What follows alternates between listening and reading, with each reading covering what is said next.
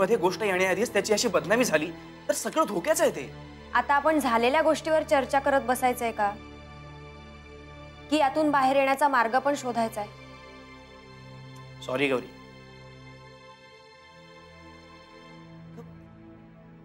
आत्ता कुठे सुरुवात झाली होती सगळ्या गोष्टी सुरुवातीलाच त्रास व्हावा. अरे बाबा तर उलट म्हणतात की सुरुवातीलाच विघ्न आली ना की नंतरचा मार्ग सुकर होतो.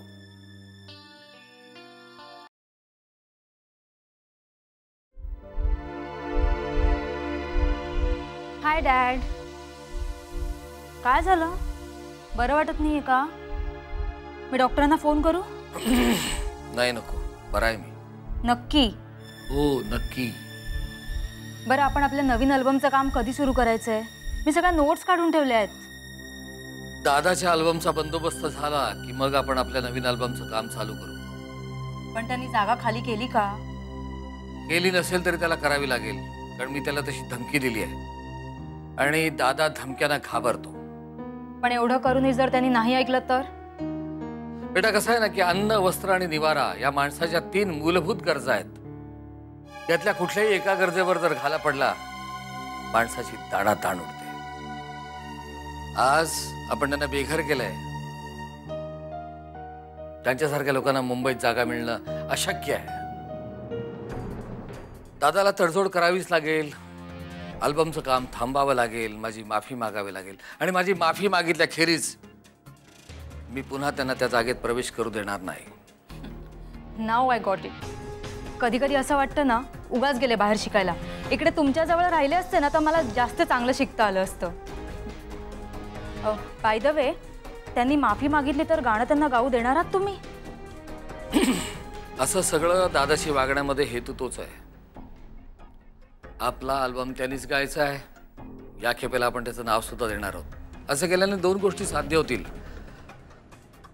आपला मोठेपणा मार्केटमध्ये दिसून येईल. आणि आपली इमेज सुधारेल. पण त्यांनी आपल्याशी असं वागल्यानंतरही आपण त्यांना का मदत करायची? पुन्हा दोन कारण आहेत. एक म्हणजे असं वागल्याने आपण दादाचा विश्वास संपादन करू शकतो. एकदा का दादाचा विश्वास संपादन केला की तो तहहायात आपल्यासाठी गाणी गाईल याचा आपल्याला फायदा होईल. नंबर दोन असं वागल्याने गौरीचं त्या हुशार मुलीचं तोंड कायमचं बंद होईल. बरोबर आहे. तिला अद्दल घडायलाच हवी. मग पुन्हा आपल्या वाटेला जाणार नाही ती. डॅड आणि तिचं सगळं सामान आहे ना मी माझ्या इकडे आणून टाकलेलं आहे. आता उद्यापासून तिचं सगळं काम मी बघणार आहे. आणि हो तुम्ही जरी काकाला माफ केलं असेल ना तरी ती गौरी पुन्हा या ऑफिसमध्ये दिसता कामा नये. नाहीतर मी इथे येणार नाही. मान्य. मी माझ्या नोट्स घेऊन येते ओके लवकर आण जा.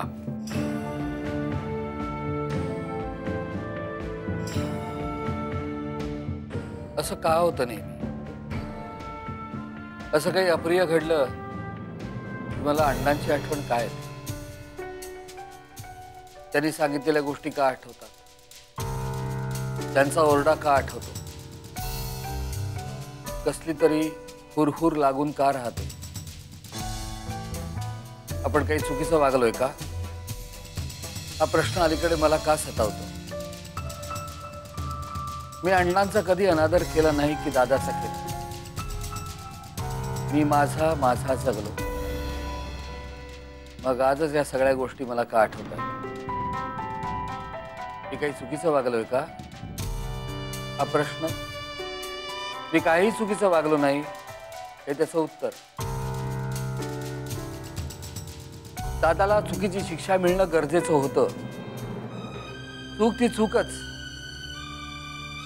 मला दादाचं हे वागणं पटूच शकत नाही. कारण हे त्याचं वागणं स्वाभाविक नाही हा त्याचा स्वभाव नाही.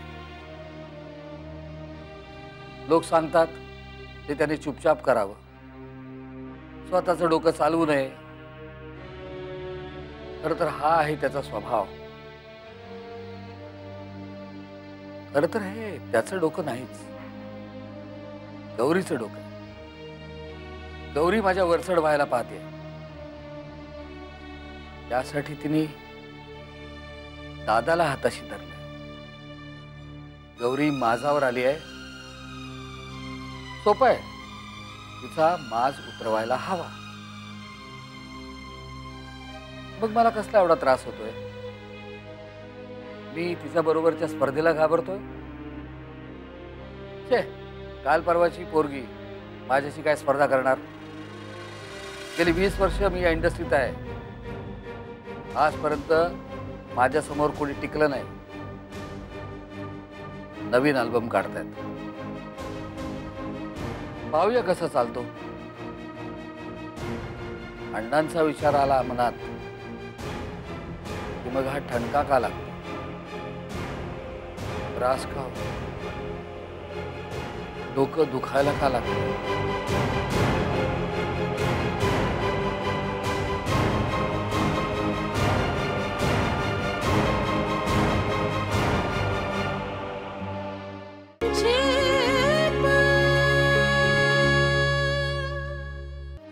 झालं यार फोन लागला एकदाचा. होईल का पण आपलं काम? होईल. आई मी मित्राशी बोललो माझ्या आत्ता. तो बघतोय त्याच्या इकडे जागेचं काही होतंय का? अरे पण आपल्याला कुठेतरी भाड्याने जागा मिळेल ना?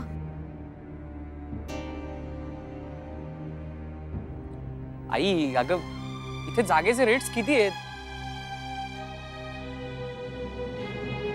तुला माहितीये ना आणि आपल्याकडे पैसे आहेत का तेवढे?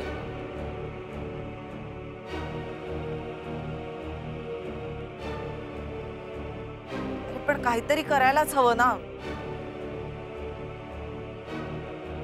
असे इथे किती वेळ बसून राहणार आहोत?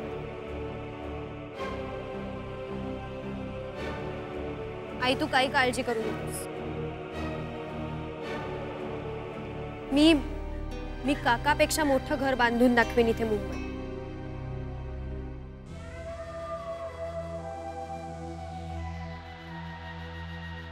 तुझ्यावर आमचा पूर्ण विश्वास आहे पोरी.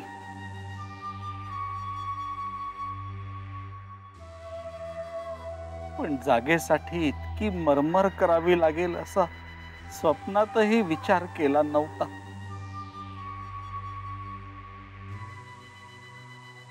गावातल्या घराची आठवण येते ग.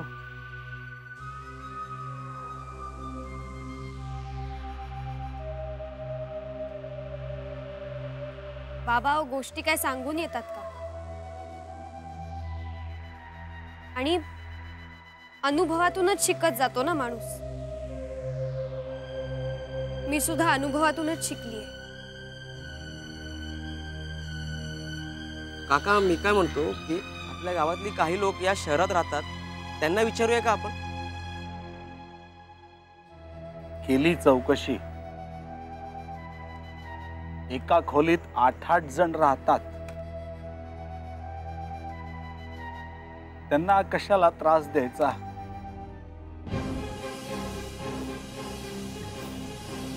शेवटचा पर्याय म्हणजे काहीच झालं नाही ना तर आपण गावाला निघून जाऊ. तुम्ही जा. मी नाही येणार.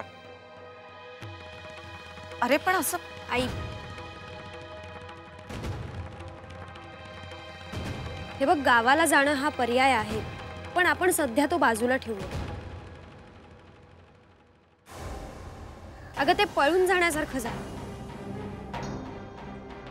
आपण घर इथेच उभं करू. म्हणजे वेळ लागेल, पण पण नक्की करू. पण ही सगळी स्वप्न आहेत ना ती आपण नंतर बघूया हा? आता इथून कुठे जायचं त्याचा विचार करूया आधी.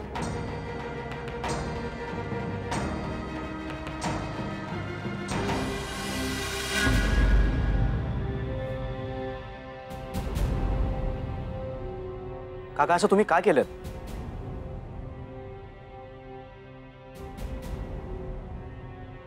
तुम्ही मला आपलं मानत नाही. एक मिनिट आदित्य. मी तुझ्याशी बोलत नाही.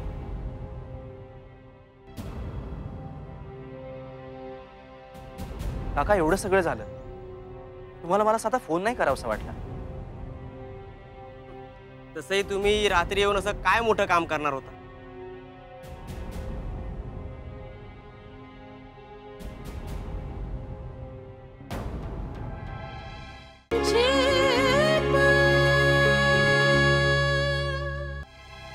नाही, तसं नाही, आदित्य.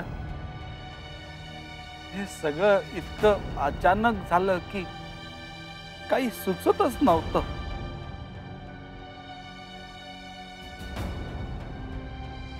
बरं झालं भोजवानींना पार्वती माईंनी कळवलं. त्यांच्याकडून मला गोष्ट कळली.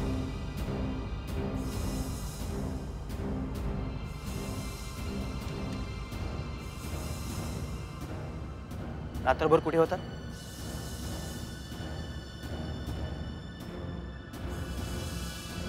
इथेच होतो. काय?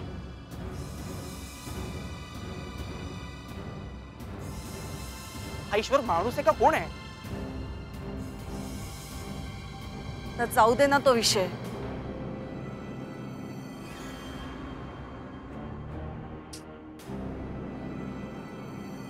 आता पुढे काय ठरवलं?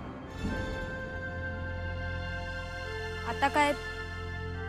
आता जागा शोधतोय दुसरीकडे. तू मला मित्र मानतेस? मग एक मित्र म्हणून मला काहीच सांगावं असं वाटलं नाही तुला.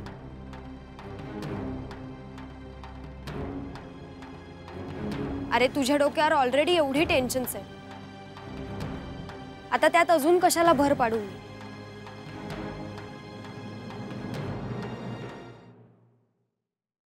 अगं माझी टेन्शन तुमच्यापेक्षा जास्त नाही आहेत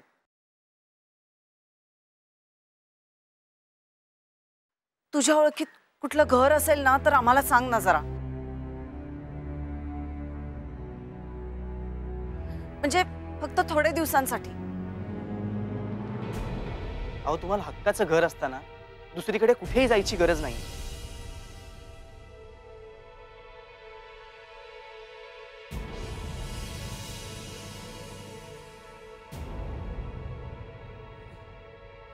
हक्काचं घरच तर आम्ही गमावून बसलोय.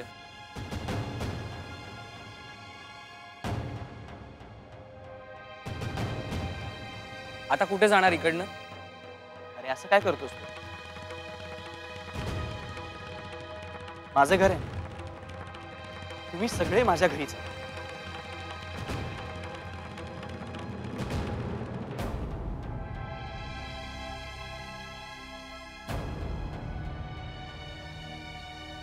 नाही पण आदित्य पण बिन काय नाही हे बघा मी तुमचं सगळं ऐकून घेईन पण प्लीज़ आधी इथून चला अरे अरे आदित्य पण तुझ्या घरी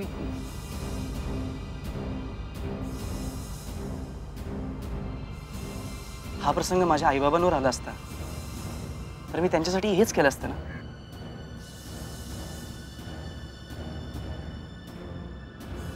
तुम्ही पण मला माझ्या आईवडिलांसारख्या. मला तुमची ही अवस्था नाही भगवत.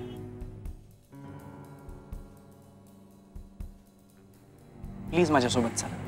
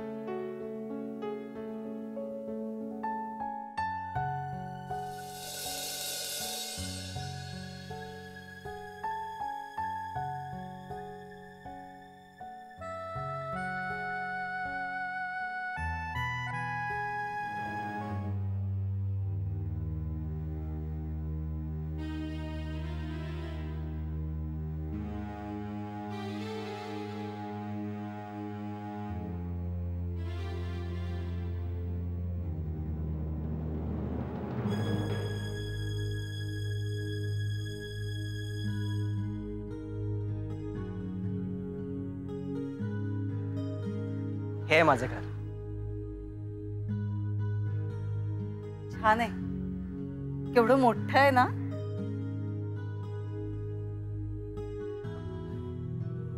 म्हणजे माझं नाही माझ्या बाबांचं आहे घर. म्हणजे तुझंच की? नाही. हे घर उभं करण्यासाठी बाबांनी मेहनत केली. माझा यात काहीच वाटा नाही. कुठे असतात ते?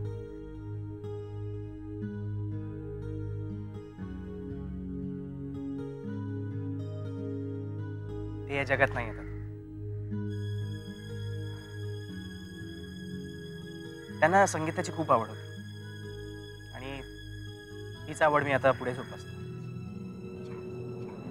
चला.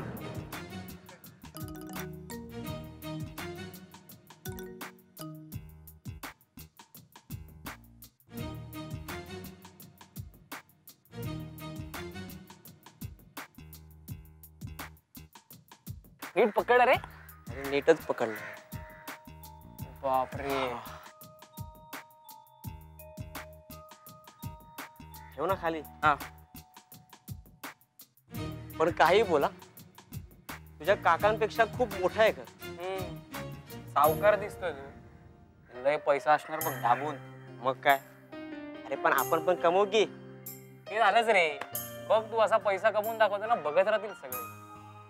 पण इथे राहायचं म्हणजे रोज याची बडबड सहन करावी लागणार. राहायला मिळतंय ना? हा? वाटेल तितकी बडबड सहन करायला माझी तयारी आहे. चल ठीक आहे बोलू नको चल आज. हळू ये हळू. या ना थांबलात का? या ना.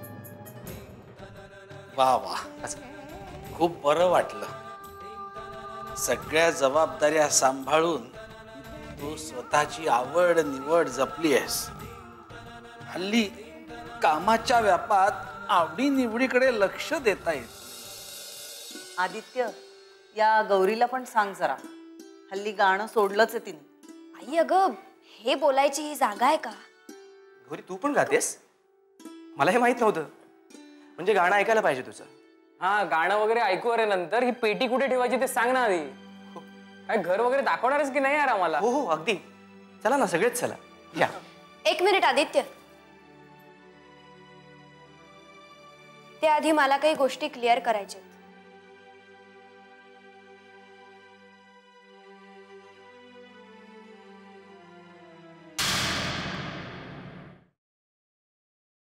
तुम्ही खूपच हुशार आहात.